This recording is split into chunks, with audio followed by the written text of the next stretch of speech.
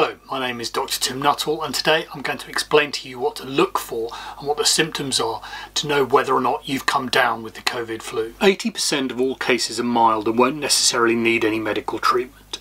If you don't require hospital admission, aren't in a vulnerable group or are a healthcare worker, you are currently unlikely to get a coronavirus test if you show symptoms.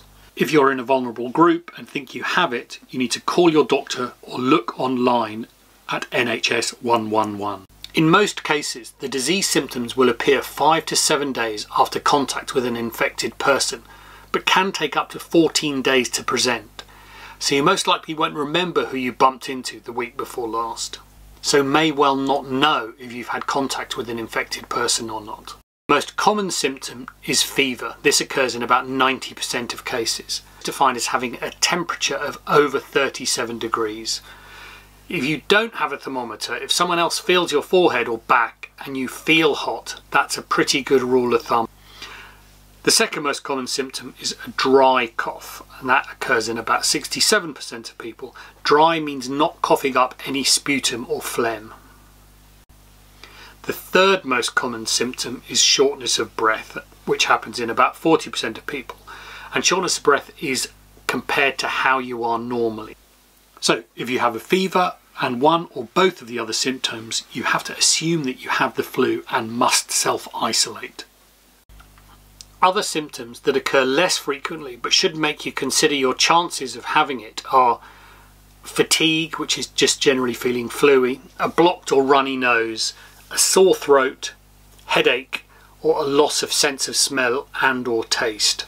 With seasonal flu, which is the normal flu, which is still around at this time, the main difference is speed of onset. You're likely to come down more quickly with more symptoms straight away having met someone with the flu. Very difficult to distinguish and you have to assume that until proven otherwise you do have the COVID flu. A cold on the other hand is not likely to give you a fever and the main symptom is sneezing and a runny nose. So if all you've got of these you're probably okay. But what you should immediately be doing is one, stay at home Two, not going to work or going into any public spaces. Three, not use any public transport or taxis and not go shopping. Your friends and family should help get your food. If you know you're likely to have it, you must self-isolate. This isn't a choice, it's your duty. It's your duty to protect your community and the society we want to return to.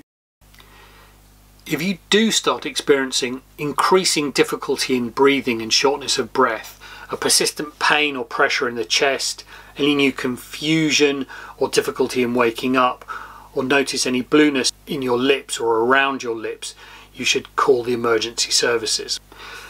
The next video is what to do if you or someone in your house has the COVID flu or think you may have a high likelihood of having it from what I've just described.